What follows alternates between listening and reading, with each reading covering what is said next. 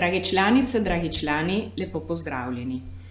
Leto 2020 je v celoti zaznamovala pandemija. Nujno je bilo popolnoma spremeniti poslovanje, operativo in odnos do dela. Spoznali smo, da težavam na vkljub je treba iskati priložnosti, ki jih je težka situacija pandemije vsekakor ponujala. Dokončno smo se prepričali, da sta digitalizacija in samopostrežno bančništvo edina pot. Mlajša generacija nam je v tem procesu bila za vzor. Milenici in generacija Z, od katerih smo bili oddaljeni zaradi naših tradicionalnih delovnih navad, so nam v tem obdobju dokazali, da njihovo razmišljanje predstavlja eno izmed rešitev. Z odločilnim pristopom so nam omogočili prekoračiti mentalne ovire in posledično ta trenutek negotovosti. Bili so starejšim v podporo in z razumevanjem jih uvajali v nov svet. Danes imamo vedno več starejših, ki se uspešno ukvarja z invenkom, z uporabo plačilnih kartic in opuščajo gotovino. Sebi marsikdo še danes komaj verjame, da je uspel, potem ko je načeloma odvedno odklanjal tako obliko bančništva. Velja omeniti, da je banka v preteklem letu zaposlila nove uslužbence. Tem želim, da bi se uveljavili v naši strukturi in obenem zadovoljili življenjska pričakovanja. Mlajši sodelavci sedaj zasedajo kar nekaj pomembnejših vlog. Prepričana sem, da je uspeh ravno v sožitju tradicije in inovacije, torej v sožitju starih in novih generacij. Rezultate, ki jih je ZKB dosegla v preteklem letu, niso bili samo po sebi umevni. Lani, meseca maja, smo na pobudo naše matice spremenili plan, ki smo si ga postavili v začetku leta. Kljub temu smo celo leto zasledovali začetne cilje, ki so postajali vedno bolj ambiciozni. Na koncu leta je bilo jasno, da smo začetni plan dosegli in presegli. Kljub fizični razdalji smo bili povezani v doseganju ciljev, ciljev, katerim smo sledili in jih dosedlo, dosledno preverjali. Številke, ki jih bo sedaj Dejan predstavil, so pomemben rezultat, ki nam uliva zaupanje in daje novega elana za nadaljnje uspešno poslovanje. Spoštovane članice, spoštovani člani, lep pozdrav tudi z moje strani. Preidemo k rezultatom poslovanja, katere smo beležili v letu 2020. Najprej bomo pregledali trend razvoja naše operativne vsote, to se pravi posojil in vlog, dinamika katerih se odraža pri beleženju ekonomskih rezultatov poslovanja. Pričnemo pri posojilih strankam in to najprej pri zdravih posojilih. Vsota zdravih posojil je v letu 2020 porasta za 34,5 milijonov kar pomeni porastek za 10,5 odstotkov v primerjavi z vsoto beleženo ob koncu leta 2019. Povišanje je rezultat novo izdanih posojil in teh smo med letom 2020 podelili preko 80 milijonov. Povprečni znesek novo dodeljenih kreditov znaša 77 tisoč evrov. Na podlagi tega lahko ocenjujemo, da je tveganje za koncentracijo pri tem precej nizko. Povečanje posojil ne gre pripisati izključno raznim dekretom, ki so bili v teku leta 2020 izdani v pomoč podjetjem. Od 80 milijonov izdanih posojil, le 8 milijonov je bilo izdanih po dekretu za likvidnost, ostali del izhaja iz rednega poslovanja banke. Šibka točka ostaja kreditiranje podjetij kajti od izdanih posojil je bila večina namenjena fizičnim osebam.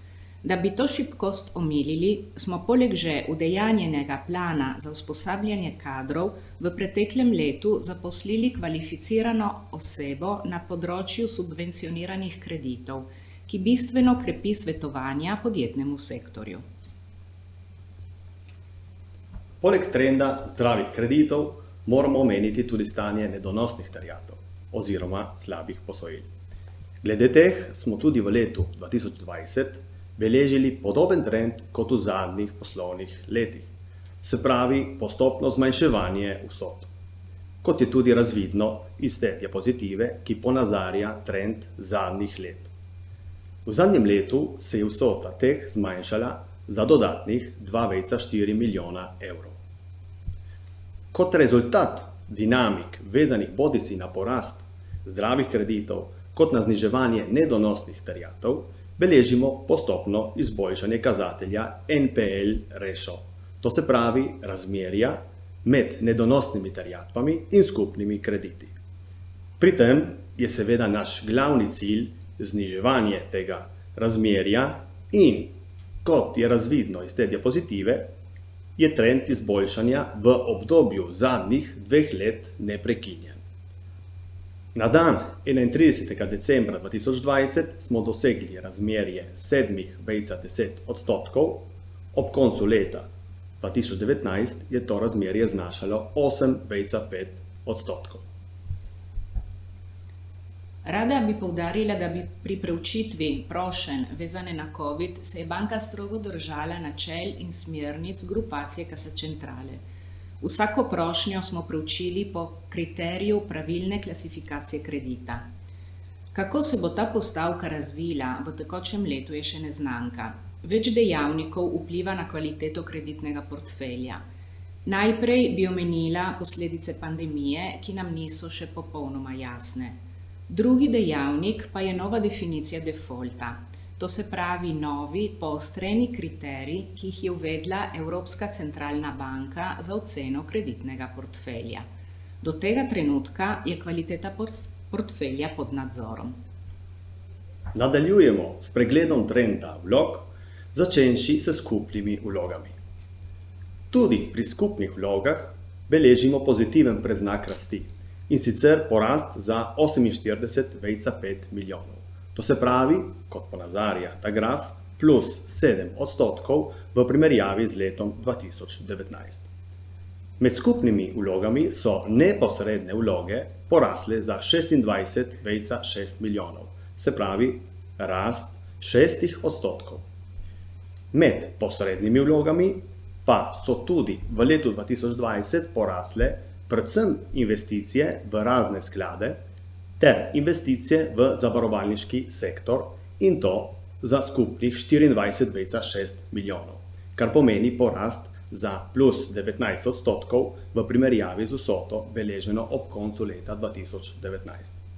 Na tak način smo omogočali strankam, da del svojih prihrankov investirajo v produkte, ki so bolj dobičkonosni. Za banko pa je to pomenilo dodatno zvišanje provizij oziroma komisij od svetovanja. Učinkovito svetovanje in usposabljanje poslovne mreže je privedlo do izrednega rezultata porastka posrednih vlog v razne sklade in zavarovalne produkte, tudi v obdobju pandemije. Če upoštevamo dinamiko celotne operativne vsote, to se pravi skupno posojil in vlog, beležimo ob koncu leta 2020 povišanje te za 80,5 milijonov v primerjavi z vsoto beleženo ob koncu leta 2019. Ta diapozitiva ponazarja trend operativne vsote v zadnjih petih letih, od konca leta 2015 do konca leta 2020. Podatki pred oktobrom 2017 to se pravi pred spojitvijo med Zadružno Kraško banko in Zadružno banko Dobrodop in Svobodnje, so navedeni kot vsota obeh bank. Nadaljujemo s pregledom rezultatov ekonomske narave in sicer z izkazom poslovnega izida. Pri tem bomo obravnavali le glavne postavke.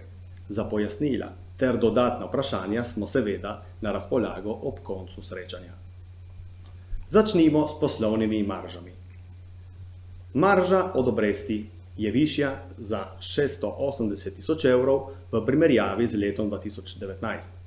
Ta povišek je rezultat bodisi višje marže od obresti, ki izhajajo od poslovanja s strankami, bodisi od marže obresti s strani vrednostnih papirjev in poslovanja z bankami.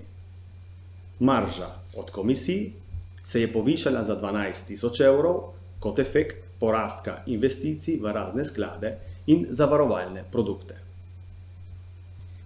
Digitalizacija je spremenila navade strank pri opravljanju bančnih operacij. Pandemija je ta proces dodatno pospešila. Kot je razvidno iz te diapozitive, je število plačilnih kartic ter transakcijskih računov precej naraslo v primerjavi z letom 2019. Obenem pa smo beležili tudi upad nekaterih provizij, ki so vezane na vsakdanje operacije s strani podjetij ter uporabnikov in to seveda kot neposredna posledica daljših obdobij zapore zaradi pandemije. Dobiček od prodaje finančnih sredstev je višji za 2,2 milijona evrov v primerjavi z lanskim. Trend finančnih tržišč nam je namreč omogočal precej dinamično upravljanje portfelja vrednostnih papirjev. Posredniška marža se je tako skupno povišala za 2,9 milijona evrov v primerjavi z maržo beleženo ob koncu leta 2019. V letu 2020 je banka namenila razvrednotenju narednih kreditov približno 4 milijone in pol. Prihodkov od izterjave slabih kreditov pa je bilo preko milijona. Tako da saldo postavke popravki čiste vrednosti za kreditno tveganje izkazuje negativno vrednost v višini 3 milijone in 700 tisoč evrov. Negativna vrednost odraža višanje stopnje pokritosti neizterljivih terjatev, katera se je v preteklem letu zvišala iz 50 odstotkov na 59 odstotkov. Za dodatna razvrednotenja se je banka odločila po smernicah grupacije Casa Centrale z namenom, da okrepi kritje portfelja NPL zaradi morebitnih negativnih posledic pandemije. Preidemo k operativnim stroškom. Administrativni stroški beležijo prihranek v višini 539 tisoč evrov, se pravi zmanjšanje za 3,8 odstotkov v primerjavi z letom 2019. Prihranek je rezultat manjših stroškov, beleženih bodisi pri stroških dela, kot pri ostalih administrativnih stroških. Tudi v letu 2020 smo nudili možnost predčasnih upokojitev in to štirim uslužbencem, obenem pa smo nadaljevali s planom zaposlitev. Druge rezervacije so višje za 315 tisoč evrov v primerjavi z letom 2019. Naj povem, da so v letu 2020 prišli na plan gospodarski učinki prispevkov in to v višini 190 tisoč evrov, ki jih je odobril Evropski sklad za depozitarje DGS in ki so bremenili banko. Prav tako smo beležili višje rezervacije za obveznosti in jamstva v primerjavi z letom 2019 in to za 192 tisoč evrov. Skupno, če seštejemo bodisi redne stroške oziroma tiste, ki omogočajo redno bančno poslovanje kot izredne stroške, beležimo povišanje leteh za 13 tisoč evrov v primerjavi z letom 2019.